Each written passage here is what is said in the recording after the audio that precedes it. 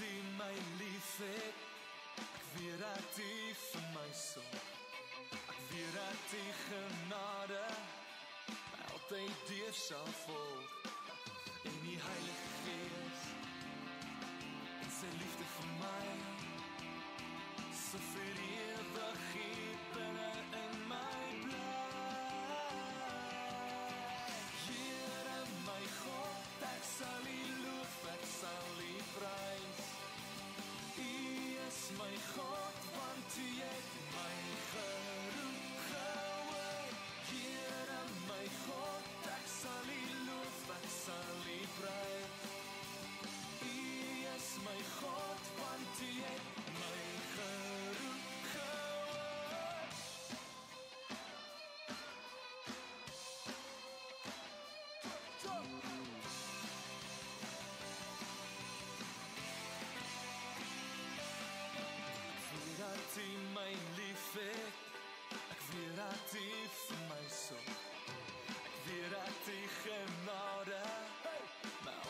altyd deur sal volg.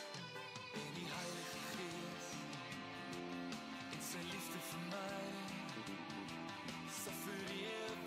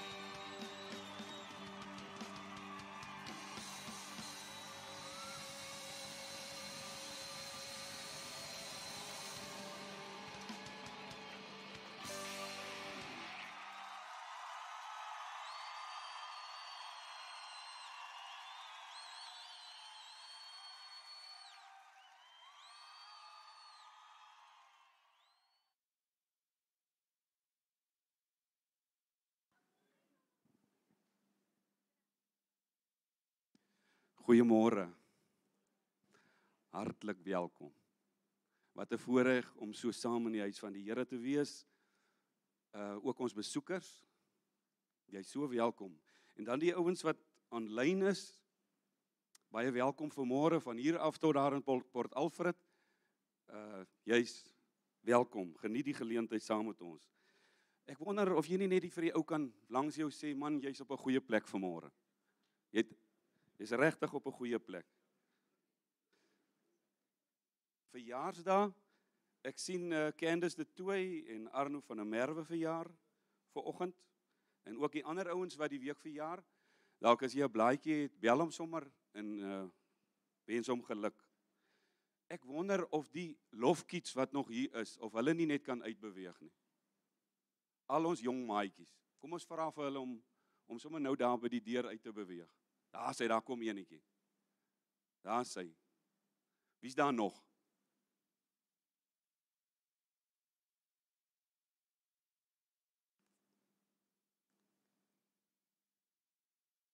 Is daar nog dalk?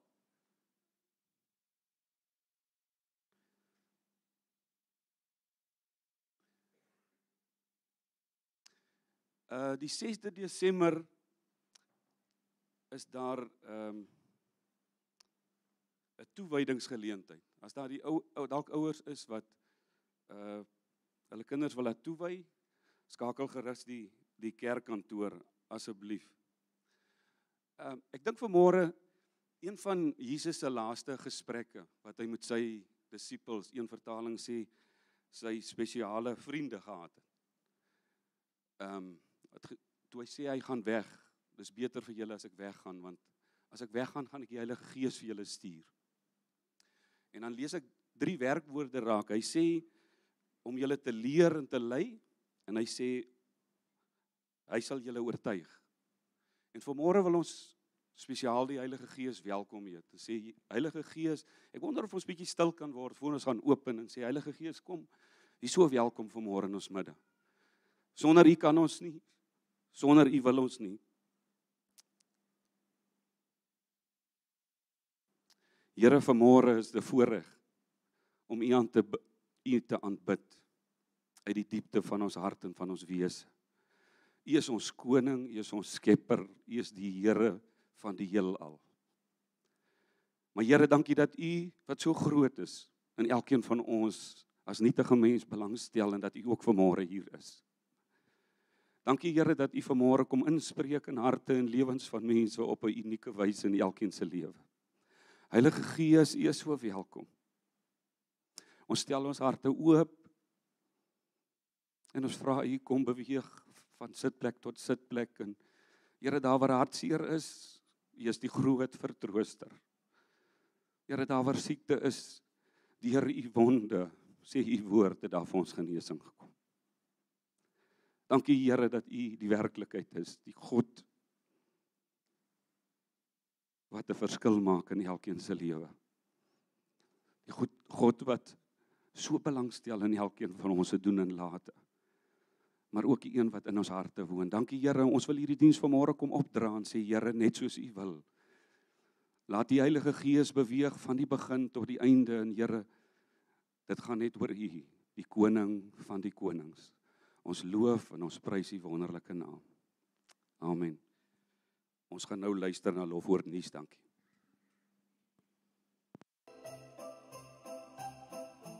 Vanaand 7:00 vir half 8 is ons buitelig inry Kerssangdiens. Hoop ons sien jou daar.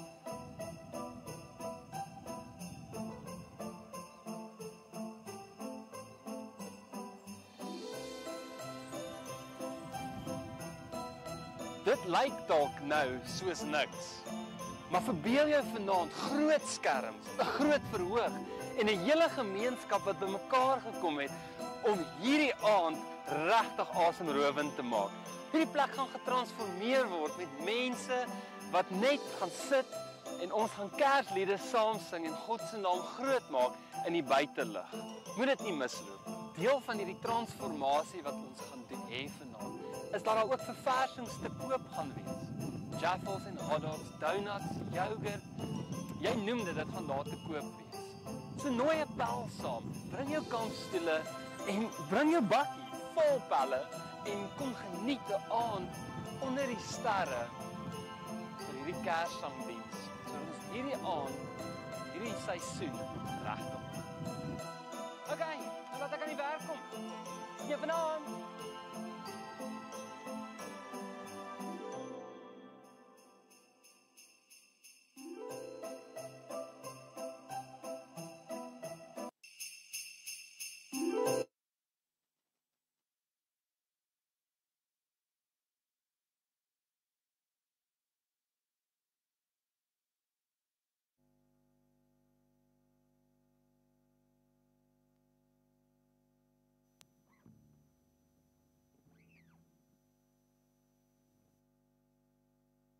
Goeiemôre gemeente.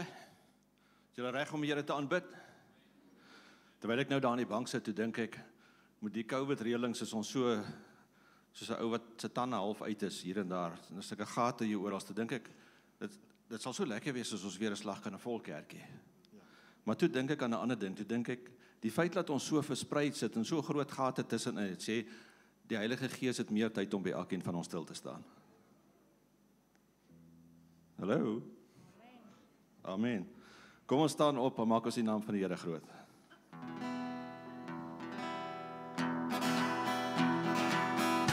Kom ons sit ons hande bymekaar.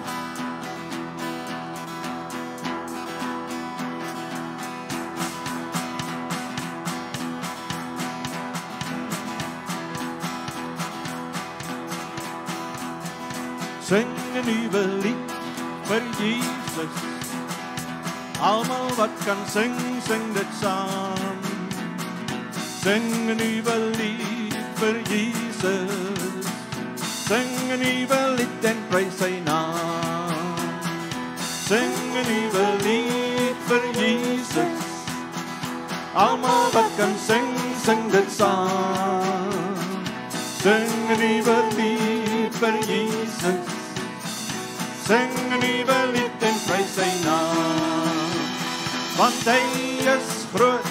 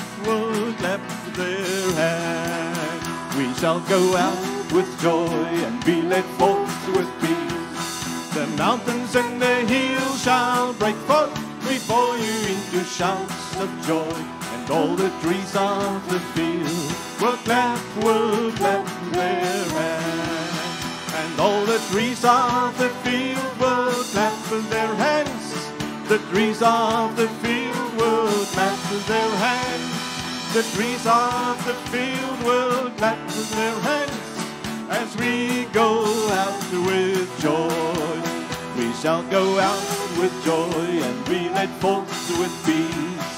The mountains and the hills shall break forth before you into shouts of joy. All the trees of the field will clap, will clap their hands. We shall go out with joy and be led forth with peace. The mountains and the hills shall break forth before you into shouts of joy. All the trees of the field will clap, will clap their hands.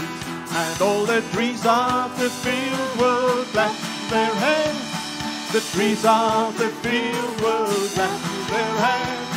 The trees of the field will clap their hands as we go out with joy. Sing an Sing an evil Sing an evil for Jesus. Sing an evil and praise sy naam. Want hy is groot en waardig om te prys.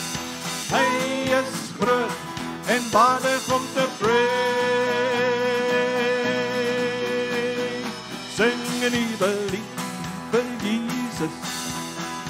Almal wat kan sing, sing dit saam.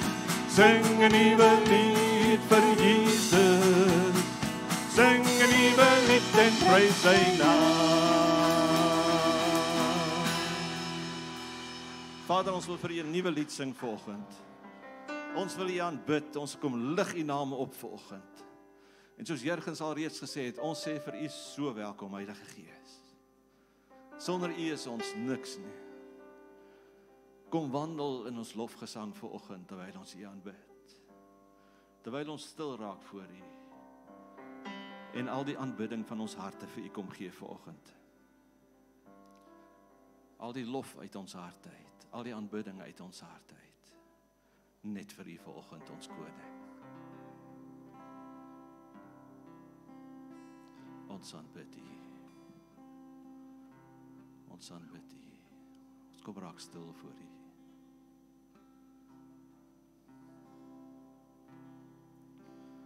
Al die lof en al die eer kom U die lof en al die eer kom kom U toe. Wie is waardig, so lofwaardig. Halleluja, prys U naam. Al die lof en al die eer kom U toe. Kom ons sing dit uit ons hart uit vir hom volgende.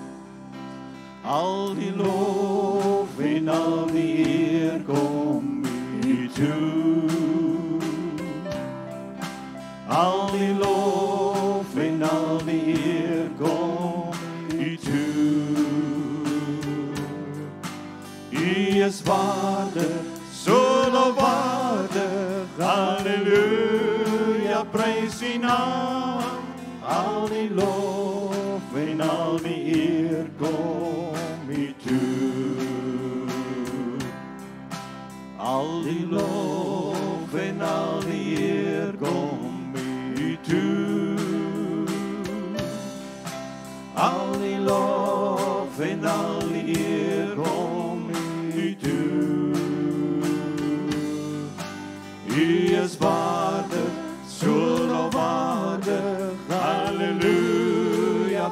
U naam. Al die lof en al die eer kom U toe. Al die lof en al die eer kom U toe. Al die lof en al die eer kom U toe.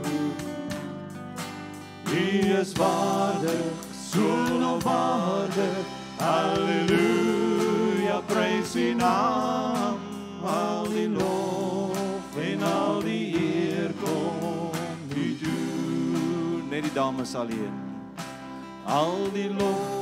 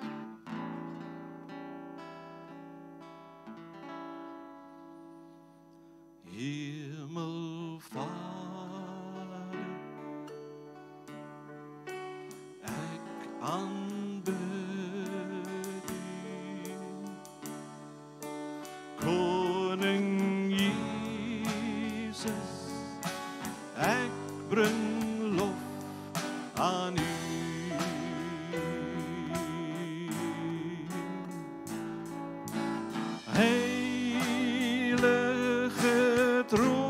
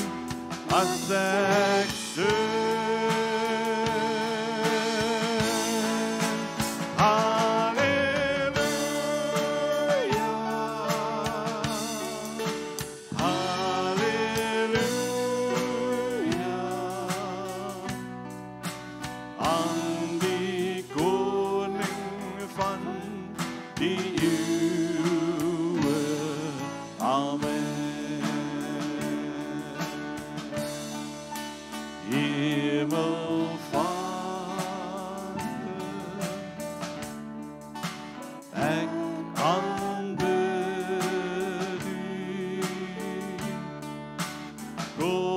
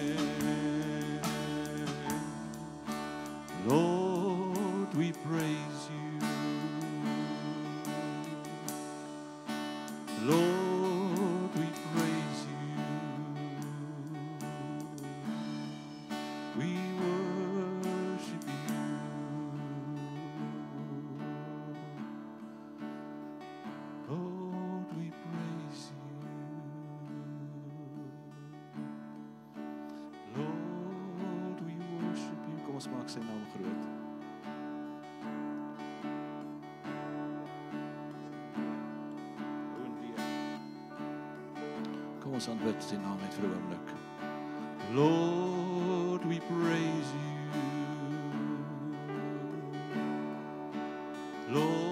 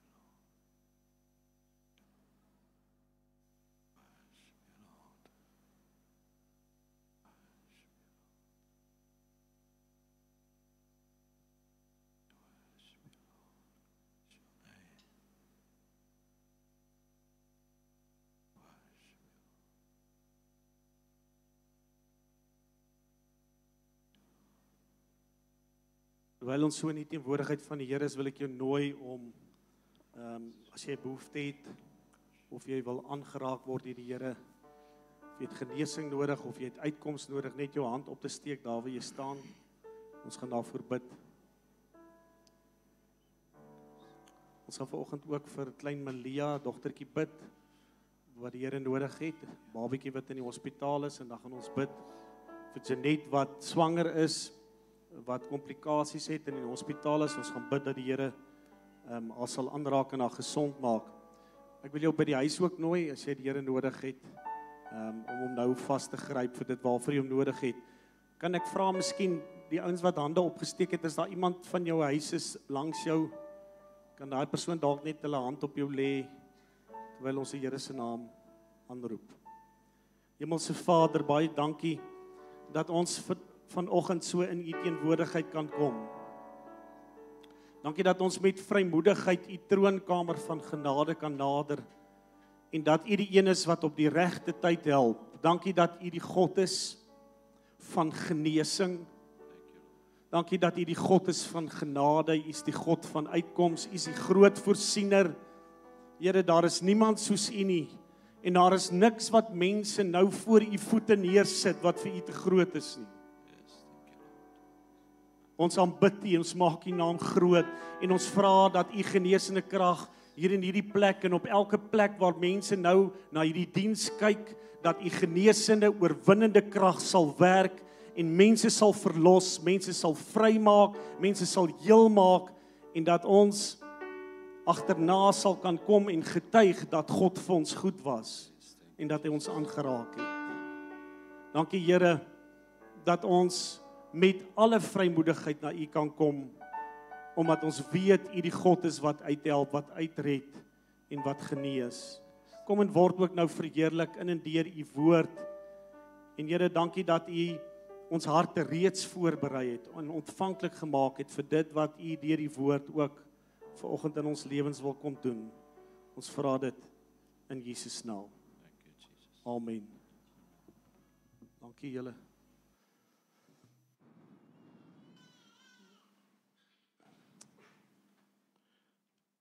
As jy ehm um, die laaste 2 weke gemis het, wil ons jou net vir oulaas nooi. Ons wil nie iemand moet uitmis nie. Ons hou eenmal 'n jaar neem ons 'n dankoffer op waarin ons ook deur middel van 'n finansiële offer vir die Here dankie sê vir die jaar wat verby is en ook ons vertroue in hom stel vir die jaar wat kom. So as daar dalk van ons mense is vanoggend wat nie die laaste 2 weke was nie en jy wil so so 'n koevertjie of dankoffer koevert hê, dan kan jy net 'n hand opsteek en Lani gaan net vir u gee.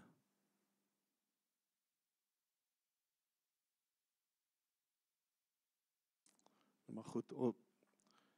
As jy wil kan jy saam met my volg uit God se woord 1 Eerste brief van Petrus hoofstuk 1 vanaf vers 3.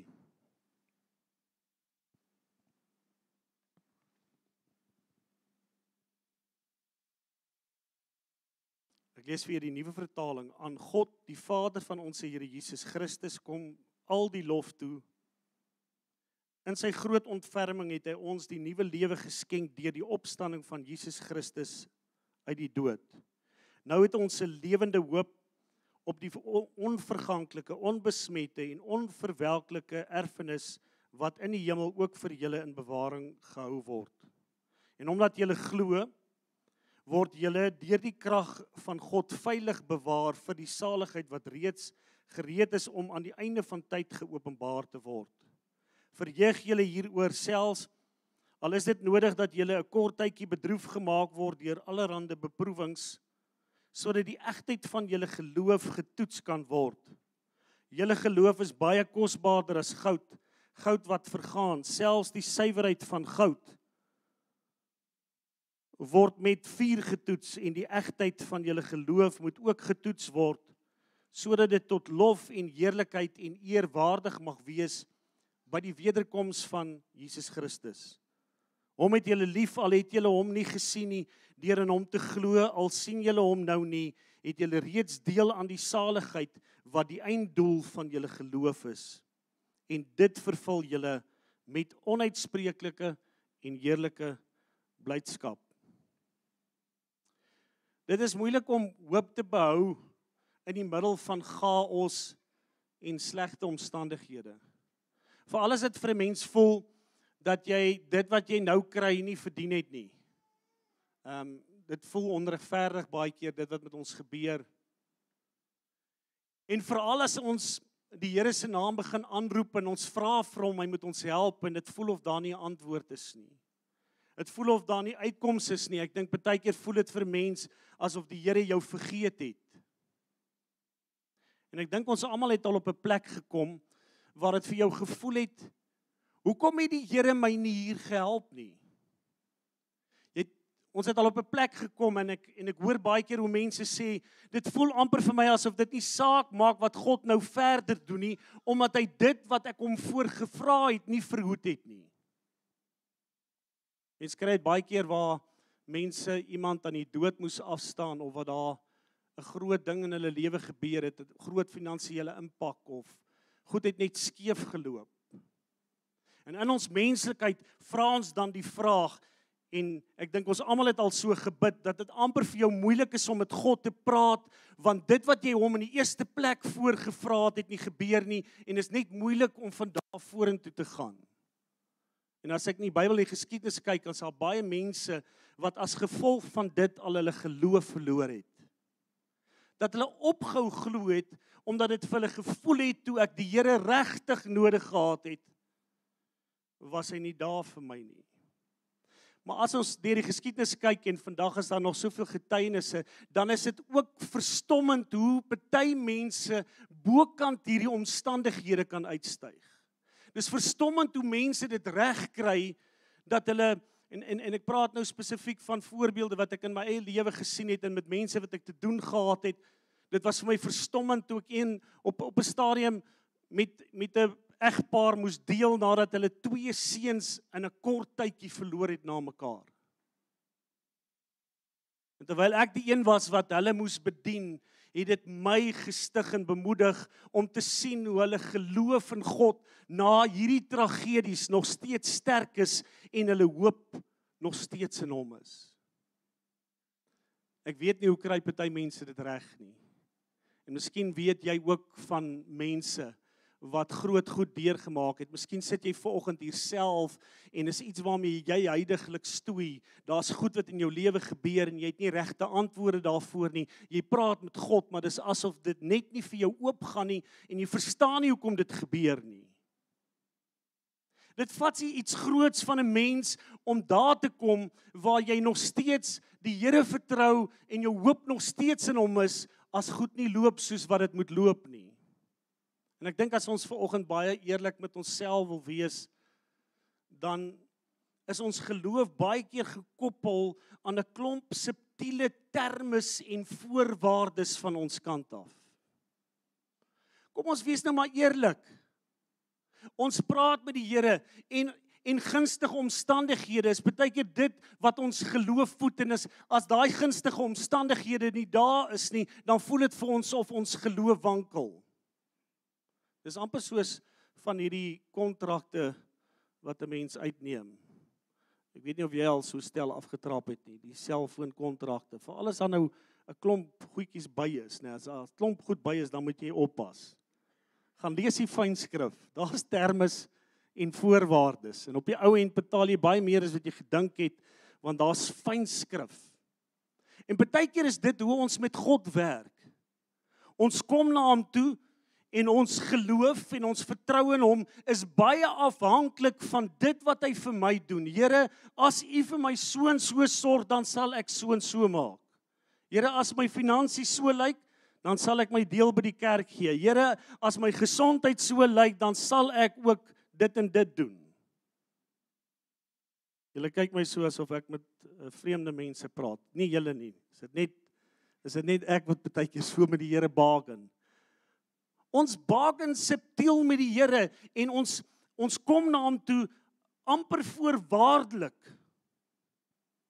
En as ons na die Bybel toe teruggaan, dan werk dit nie so lekker nie. Maar God se woord help ons want dit help om vir ons om vanoggend te weet dat daar mense is wat voor ons gekom het in die geloof wat wat eintlik voorgangers van die geloof was wat ook soos ons baie keer te doen het met onnodige lyding, geweld, smarte, pyn en onbeantwoorde gebede. Want ek dink elke keer as ek en jy in vertroue na God toe kom en ons verwagting is in hom en ons hoop is in hom en ons gebed word nie beantwoord nie, dan gee dit in 'n sin ons geloof 'n knou. En as jy jou glad nie 'n knou gee nie, dan het jy ver gevorder.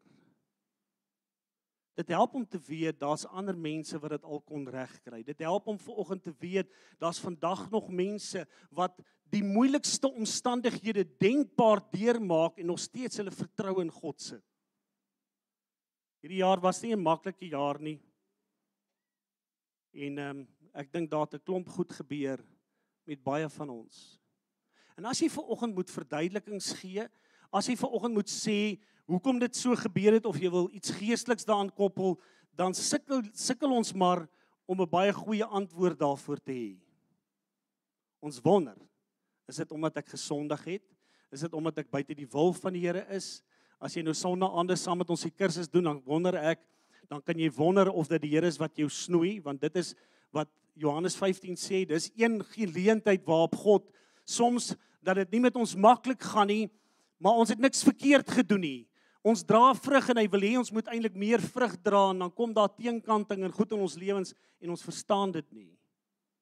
Ek en jy het nie al die antwoorde nie. Maar in die woord is daar mooi stories soos hierdie brief wat Petrus skryf aan die mense, die Christene in Klein-Asië. En die gehoor waarvoor hy skryf is mense wat die moeilikste goed deurmaak. Daar's kastydings, daar's fisiese gevangeneem, daar's mense wat gemartel word, daar's mense wat doodgemaak word. Dit gaan verskriklik met hierdie mense en in die middel van hierdie omstandighede skryf Paulus oor 'n hoop wat nie geanker is in omstandighede, teologiese opinies of in gunstige posisies nie. Paulus sê die hoop wat ons in Christus Jesus ontvang het, wat geanker is eintlik in iets wat gebeur het, is groter as al hierdie goed. En ek dink in die tyd waar ons lewe en soos die die toekomsprentjie soms lyk waarheen dit beweeg, gaan ek en jy al meer en meer hierdie hoop nodig hê wat nie gekoppel is aan omstandighede nie wat bokant omstandighede kan uitstyg. Eerste kerk het gebly hoop in moeilike omstandighede en dis hoekom Petrus met vrymoedigheid hierdie brief vir hulle skryf want hy het eerstehandse ervaring van die moeilikste omstandighede wat denkbaar wat hy deurgemaak het wat God hom deurgedra het. En daarom is dit sy vertroue dat hierdie mense wat ook Jesus aangeneem het, wat ook ja gesê het vir hom, wat ook die hoop in Jesus ontvang het, dat die krag wat God in hulle gegee het, die vermoë wat God aan hulle gegee het deur Jesus Christus wat deel is van hulle lewe, ook sal skyn in 'n donker tyd in hulle lewe. Petrus praat van ondervinding. En een van die mooi voorbeelde wat ek ontdek in die Bybel die afgelope paar weke kom uit Handelinge 12 en ek ek wil jou uitnooi om dit te gaan lees. Dis die gedeelte waar Jakobus doodgemaak word en Petrus bevry word uit die tronk. Nou die agtergrond van die gedeelte is dis omtrent 15 jaar na die opstanding van Jesus Christus. En die gemeente of die Christene in Jerusalem gaan deur die moeilikste tyd denkbaar. Want koning Herodes en dis nou nie dieselfde Herodes wat die babatjies doodgemaak het met Jesus se geboorte nie. Dis sy kleinseun Herodes Antipas. Hy is op 'n veldtog waar hy die Christene uitmoor. Hy neem hulle gevange. En as jy nou daar gaan lees dan sien jy in 'n kort tydjie gebeur daar sommer baie. Hy neem 'n klomp Christene gevange en hy geesel hulle. Asof hierdie mense nie klaar genoeg deurgemaak het nie. Die Bybel, as jy die geskiedenis gaan lees, dan is hierdie ouens op hierdie stadium in 'n hongersnood. Dat dit het seker ook so min gereën soos wat dit die afgelope tyd by ons gereën het. Daar's hongersnood. Die mense het nie kos nie. Die die gemeente in Antiochië wat ver van die Christene van Jerusalem af bly, stuur geld sodat hierdie mense net kan oorleef, sodat hulle net kos het om te eet. En asof dit nie genoeg is nie, kom Herodes Antipas wat baie vol van homself is. Hy neem 'n klomp Christene gevange, hy martel hulle en die broer van Johannes, Jakobus, daai Jakobus word net daar met die swaard doodgemaak. En Petrus word in die tronk gegooi. Die Bybel sê en vier stelle wagte hou oor hom die wag.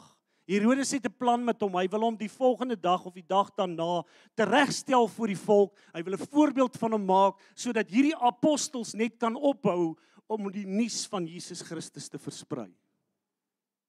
So hier is die situasie. Klomp ouens gemartel, Jakobus dadelik op die op die plek doodgemaak met die swaard, Petrus in die tronk, klomp wagte om hom. En die Christene in Jerusalem kom by Maria se huis bymekaar en hulle bid vir Petrus dat die Here moet help. En hier kom 'n wending in die storie want hier gebeur 'n groot wonderwerk. Daai nag terwyl hulle besig is om vir hom te bid, kom daar 'n engel van die Here en Petrus terwyl hy lê en slaap en ons wagte aan weerskante van hom, kom die engel en hy pouk hom so in die sy en hy sê vir hom word wakker, kom saam met my. En die Bybel sê soos hy opstaan, val die boeye van sy van sy hande af. En en hy en die engel stap uit. Hulle stap by elke stel wagte verby sonder dat een van hulle eers opmerk dat hulle daar is. En die tronk se deure gaan oop en Petrus strap 'n vry man uit die tronk uit. Nou is Petrus se eerste gedagte, ek moet by die mense uitkom wat vir my bid, wat vir my ingetree het, die intercessors. Julle weet mos nou, hier's sulke mense ook in ons gemeente. Die ouens tree in vir Petrus en Petrus kom by die huis aan en hy klop aan die deur en daar kom 'n diensmeisie, haar naam is Rodey en sy maak die deur oop en sy skrik haar byna flou toe sy vir Petrus sien. Sy ehm um, slaan die deur weer toe en sy hardloop terug in en sy gaan sê vir die mense Petrus het gekom, hy's hier. En hulle kyk haar aan asof sy van 'n ander planeet afkom. Nou kom ek sê vir julle, dit gee my baie moed vir ons. Want dit beteken dis nie net ek en jy wat soms bid en diep in jou hart glo jy nie dat die Here gaan antwoord nie. Want hierdie klomp ouens stry met hulle sê dit kan nie Petrus wees nie. Met ander woorde, hulle het gebid, hulle het ingetree vir hom, maar hulle is verbaas toe hulle hoor hy kom en en 'n storie, lang storie kort te maak, is dit later 'n redenasie, is dit is dit nou Paulus se gees, is dit sy spook, is hy klaar doodgemaak? Wie is dit nou? Petrus hou net aan klop en hy hou maar aan geduldig klop en later maak hulle oop vir hom en hy kom tussen hulle. Nou die storie daarvan af verder. Dis 'n groot wonderwerk wat gebeur, maar Petrus moet van daardie af omdat daar so aanslag is op die Christene in Jerusalem, moet hy ondergronds gaan en hy moet verder so werk vir jare gee die Bybel nie rekenskap van waar Paulus vandaan was nie. Al wat ek weet is ek glo hy het die evangelie versprei waar hy was en nog steeds 'n verskil gemaak. En dan neem die storie 'n ander interessante wending, né? Die volgende dag natuurlik uit die aard van die saak ook 'n groot stuk onregverdigheid. Herodes maak al die wagte dood wat vir Petrus opgepas het. En ek dink hierdie Christene en selfs Petrus moes in hulle harte gewonder en gevra het, Here, Hoekom het jy vir my deurgekom? Hoekom het jy my lewe gered? Hoekom moes hierdie wagte doodgaan? Hoekom moes Jakobus sy lewe verloor? Kan jy die raakpunt sien tussen my en jou wat baie keer voor die Here gaan staan en ons roep hom aan, maar dit is moeilik om met hom te praat want dit voel vir jou asof hy iets kon verhoed het in jou lewe en hy het nie.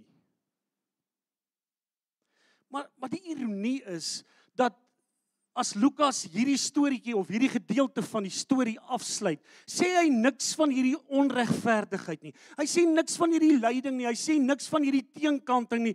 Al wat hy sê is die woord van die Here het verder versprei en vrug gedra. Hierdie ouens, daar moes iets gewees het wat vir hulle gedra het. Daar moes iets wees gewees het binne hulle wat hulle hoop gegee het en dis waarvan Paulus skryf is hierdie hoop wat van God afkom wat nie van ander bronne of van verklaringe of goeie gebeure afhanklik is nie. En dan neem die storie nog al 'n snaakse ander wending aan. 'n Paar dae later kom Herodes en hy roep die volk bymekaar of die volk het hom geroep. Ek sê seker nie, jy kan die storie mooi gaan lees. En dan het hy 'n toespraak, maar hy is so well-spoken man dat die skare uitroep, hy moet sekerlik 'n God wees. En nou kan jy gaan kyk, hierdie staan nie net in die Bybel nie, dit staan in die geskiedenisboeke ook. Die geskiedenisboeke sê, hy het 'n pyn op sy maag gekry en hierdie pyn was so erg dat hy net daar in mekaar gesak het en dood gegaan het. Weet jy wat sê Lukas? Lukas sê 'n engel van die Here het gekom en hom kom tref en die wurms het hom van binne af opgevreet en het mors dood neergeslaan. Dis nogal huge.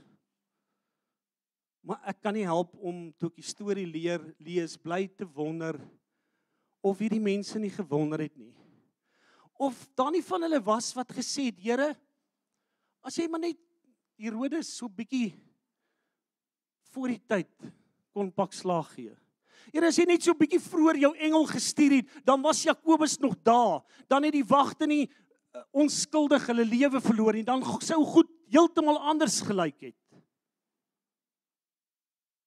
Ek weet nie of of ek of ek dit moet sê nie, maar maar ek dink hier is dalk so 'n paar van ons wat miskien so bietjie hoop 'n wurm kry een of ander ouens 'n bietjie beet.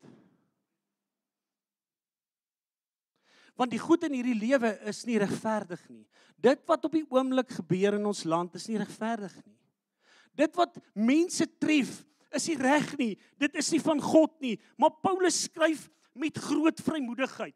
En en en hy probeer vir ons sê die mense wat ons vooraf gegaan het in die geloof was nie immuun teen onverklaarbare tragedies en verliese nie en ek en jy is ook nie immuun teen dit nie. En al het hulle geweet, al het hulle soos ek en jy baie keer gevoel God kon hierdie goed verhoed het.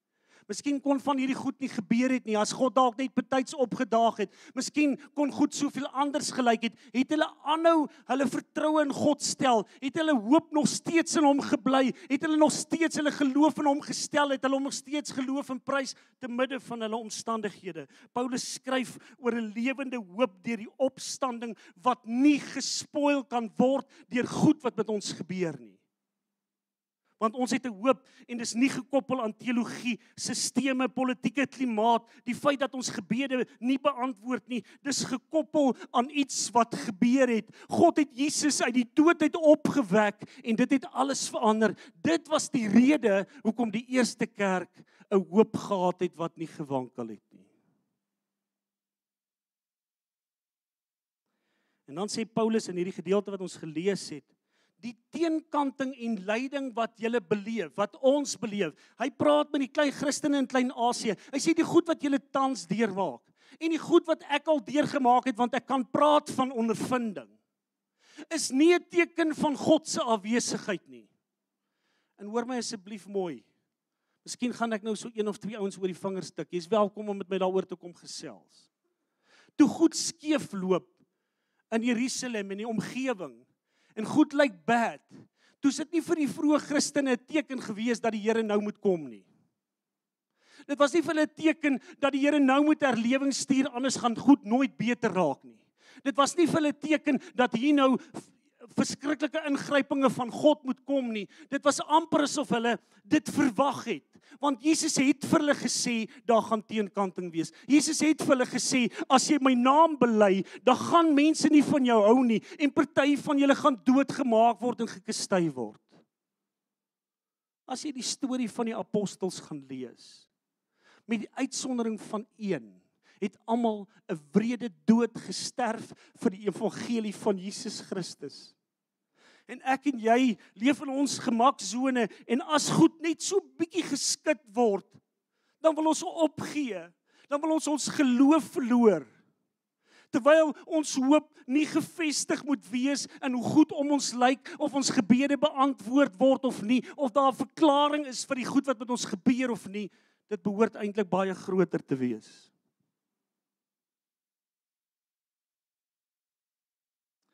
Die egtheid van ons geloof, sê Petrus, word nie getoets as alles glad verloop nie. Die egtheid van geloof van mense wys wanneer dit op die donkerste is. Want wanneer dit op die donkerste om ons is, dan skyn God se lig deur ons op sy helderste. Dis dan wanneer mense kan sien aan wie ons behoort en waarvan ons gemaak is. Nou, hier is hier is die groot ding. Hoekom is Petrus so passievol oor dit? Hoekom is hy so passievol oor hierdie storie? Ja, omdat hy self goed deurgemaak het, maar die rede hoekom hy so passievol was, was omdat hy 'n ooggetuie was. Hy het alles sien gebeur. As ek Paulus se geloof vir jou wil beskryf of of in my eie woorde wil stel, dan gaan ek dit vir jou so sê. Dit voel vir my Petrus sê my geloof is nie afhanklik van konsekwentheid, sekerheid of my van my vermoë om goed te kan verklaar nie. My geloof word nie geskit deur die curveballs van die lewe nie. Ek het die beste persoon in die hele wêreld sien doodgaan op die slegste manier moontlik. Maar God het hom weer opgewek. So alles daar baie wat ek nie verstaan nie en ook nie kan verduidelik nie. Moet ek sê na Jesus se opstanding is die res eintlik net detail. Dis hoe ek dit sal opsom. Petrus was 'n ooggetuie. Maar terselfdertyd praat hy nou met 'n klomp Christene in Asië. En hierdie groep mense was nie ooggetuies nie. Hulle het dit nie sien gebeur nie. Maar Petrus is van mening dat as jy ja sê vir Jesus, kom plant hy daai selfe saad binne in jou. Hy kom sit daai selfe kaliber geloof binne in jou. Daai selfe hoop word deel van jou lewe die dag as jy vir Jesus ja sê. Hoor hoe skryf hy van hierdie gemeente in Klein-Asië wat moedeloos en down and out is. Hy sê vir hulle Hy sê al het julle hom nie gesien soos ek nie, het julle hom ook lief en glo julle hom en dit vervul julle met onuitspreeklike blydskap want julle het reeds deel aan die saligheid wat die einddoel van julle geloof is. Partykeer verloor ons perspektief. Partykeer is ons so verknog aan hierdie lewe en dan alles moet net hier plain sailing wees dat ons vergeet dat ons bedoel is vir iets groters, dat ons bedoel is vir lewe, 'n groter lewe hierna.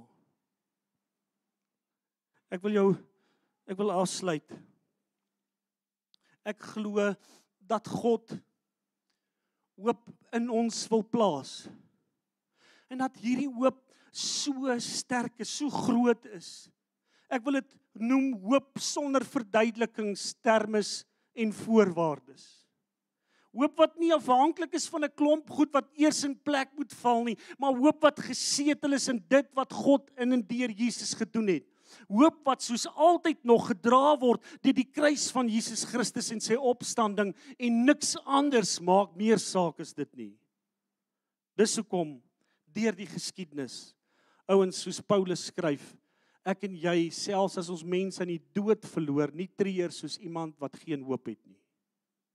Dis hoekom Petrus ook op 'n ander plek skryf, As jy bekommernisse het, as goed nie uitwerk in jou lewe nie, gee jou bekommernisse vir hom want hy's die een wat vir jou sorg. Dis hoekom Paulus skryf, ek en jy die vrymoedigheid het om na die troonkamer van die Here toe kan gaan en alles aan sy voete te kan neerlê, maar iewers te daar in sy troonkamer vrede te kry, maak nie saak wat nie. Want sê Paulus in Romeine 8, ek en jy's nie gevrywaar nie. Partykeer gaan ons siekte, lyding, dood, vervolging swaar beleef. Die belofte is nie dat ons hierdie goed gaan gaan vryspring nie. Die belofte is dat niks ons van sy liefde kan skei nie. My wens vir jou vanoggend is dat hierdie hoop, hierdie tipe hoop, hierdie hoop wat wat gebaseer en gegrond is op die opstanding van Jesus Christus al sterker en sterker in jou sal groei. Moenie my verkeerd verstaan nie. Ek bring nie hierdie boodskap vir jou om vanoggend vir jou te sê man, daar gaan nou slegte goed met jou gebeur en jy moet nou maar net vrede maak daarmee nie. Ek weet jy sit mense en jy vertrou God vir 'n deurbraak. Ek gaan saam met jou om aanhou vra vir 'n deurbraak. Ek gaan aanhou vra dat hy jou finansies verander. Ek gaan aanhou vra dat hy vir jou vrede gee. Ek gaan aanhou vir jou vir jou help en bystaan as jy deur 'n tyd van smart moet gaan. Die Bybel sê God verstaan ook as ons hierdie goed deurmaak dat dit vir ons moeilik is en ons mag hom vra. Ons mag sy aangesig soek en ek seker soos wat ek hier staan dat ek en jy nog groot wonderwerke gaan sien gebeur in ons land. Ek is nie teen herlewing nie. Ek glo ook die Here gaan herlewing in hierdie land stuur en alles gaan verander. Maar dis nie dis dis asof mense oor hierdie goed praat asof dit die strooihalms is waarna mense gryp om uit omstandighede te kom en en nie perspektief het nie en nie besef maar God is nog steeds met jou al ter, terwyl goed gebeur, terwyl die slegte gebeur, want as Petrus reg is, is dit wat Jesus gedoen het so kragtig. Is die hoop wat hy so wat hy vir ons gegee het, so kragtig dat enigiets wat met ons gebeur, maak nie saak hoe onregverdig, hoe random dit is, hoe verkeerd dit is wat met ons gebeur nie. Daai hoop is so kragtig dat dit wat met ons gebeur, dit nie kan shake nie, dit sal bly staan. En ek bid dat die Here dit in jou sal vasmaak soos Hebreërs 6 vers 19 dit stel. Hy sê hierdie hoop besit ons as 'n veilige en onbeweeglike lewensanker wat agter die troonkamer vir ons vasgemaak is. Mag die Here jou vul met sy hoop. En mag hierdie hoop jou ook dra in 'n tyd wat dit vir jou moeilik is. Kom ons bid saam.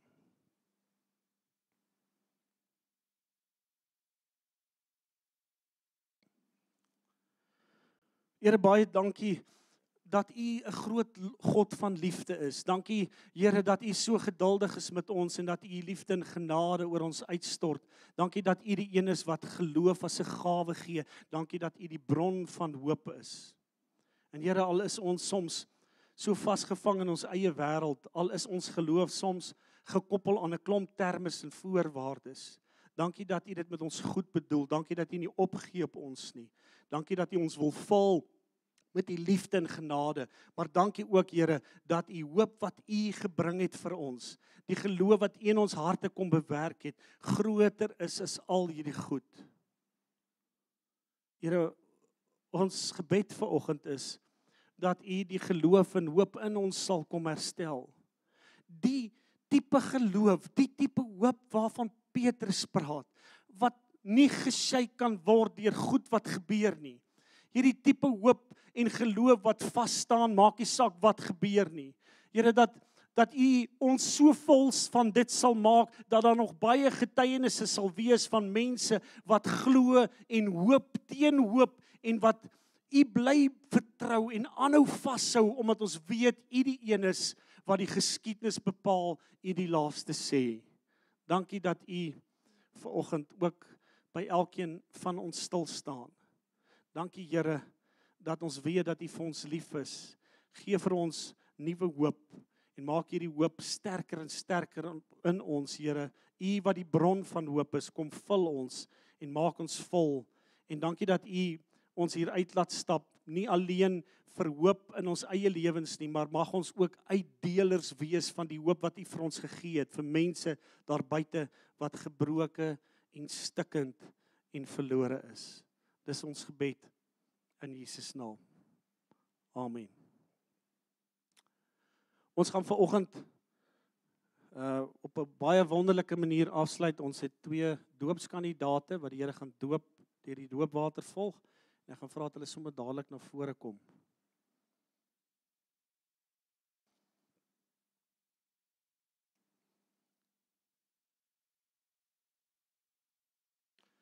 Nou julle moet maar eers so dra die mense sien hoe mooi is julle.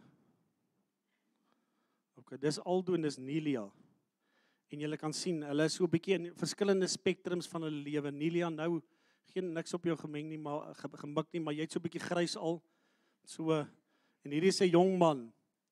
Elke keer as ons mense doop, dan is dit 'n teken dat ons nog besig is met Jesus se groot opdrag. Gaan dan heen maak disippels en doop hulle in die naam van die Vader, die Seun en die Heilige Gees en leer hulle om alles te onderhou wat ek julle beveel het. En ehm um, ja, op verskillende fases in mense se lewens kom God se ja en ons ja bymekaar. Dis daar waar ou besef maar ek het gekies om hom onvoorwaardelik te volg en die logiese verdere stap is om my te laat doop. En dis hoekom hulle hier is. En dis hoekom ons vandag die voorreg het om hulle ook te doop. Ek gaan vra dat hulle net so na my toe draai en dan gaan ek hulle net so drie vrae vra en dan daar gaan ons uitbeweeg om te gaan aantrek vir die doop.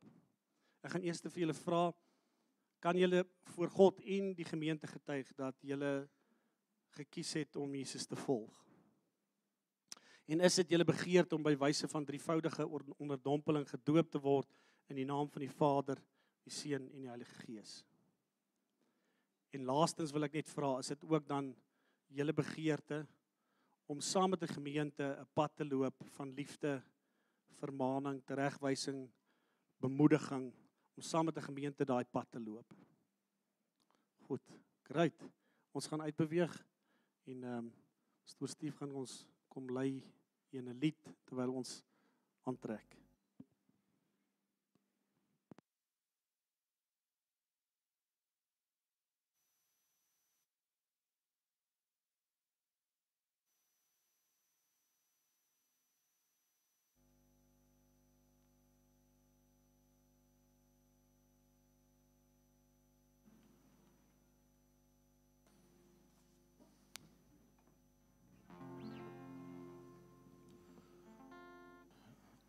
Een of ander tyd in hierdie ouens wat nou gedoop word se lewe net hierdie song by hulle kom stil staan. Wat 'n voorreg het ons as hierdie song by elkeen van ons kom stil staan net op een of ander stadium. Amazing grace how sweet the sound that saved a wretch like me.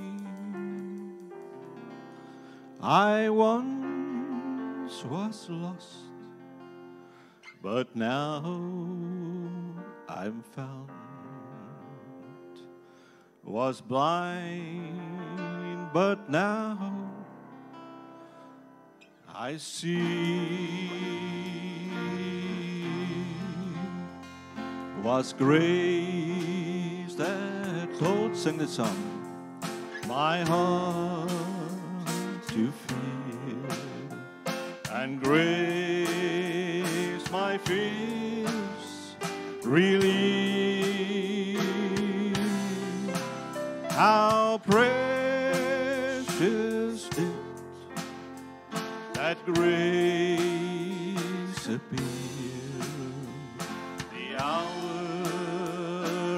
first believed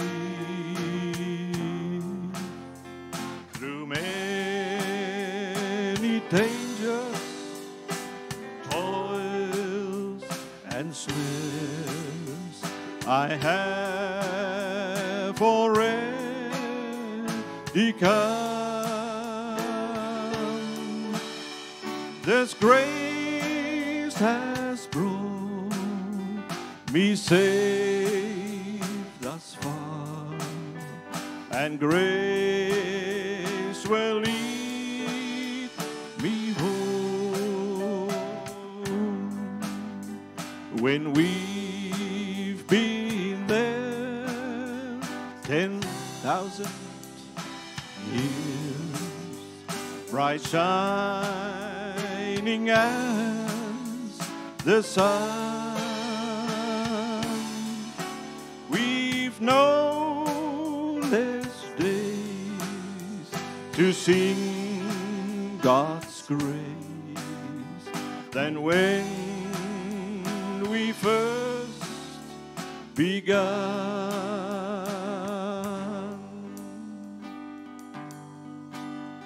When we've been there ten thousand years, bright shining as the sun. We've known less days to sing God's grace than when begun. We've known these days to sing God's grace than when we first begun.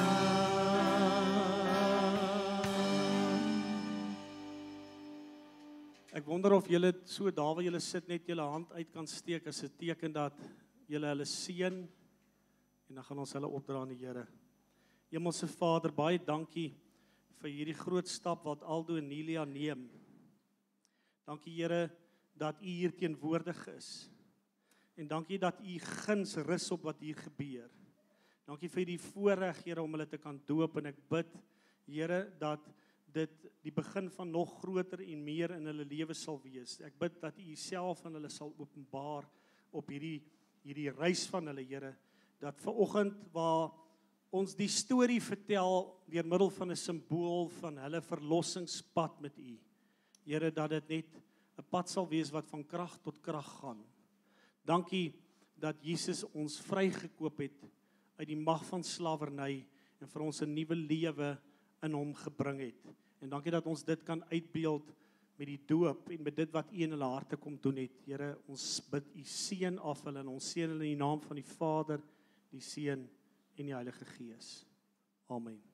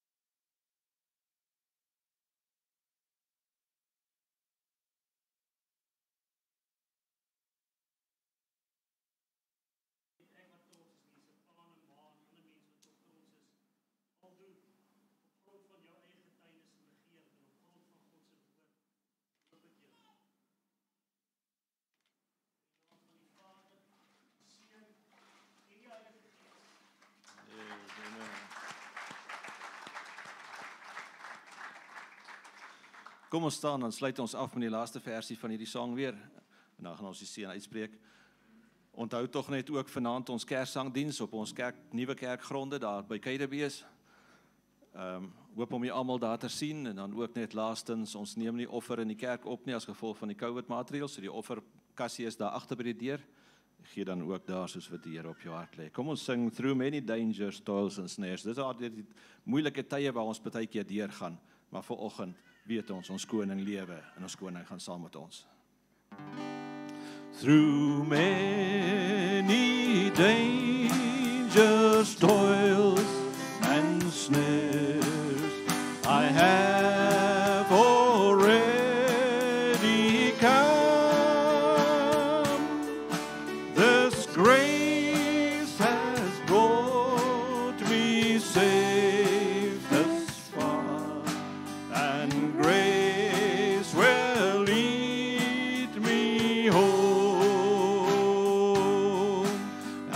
and grace will lead me home.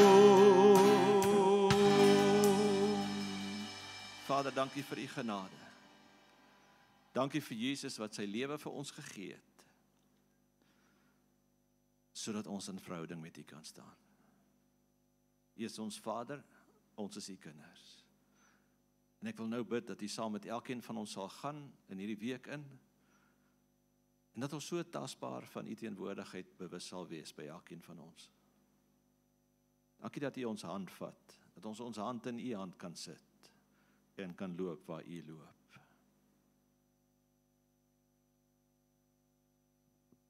Mag God se genade op elkeen van ons wees. Teenwoordigheid van sy Heilige Gees deel wees van elke oomblik van ons lewe. Totdat Jesus kom.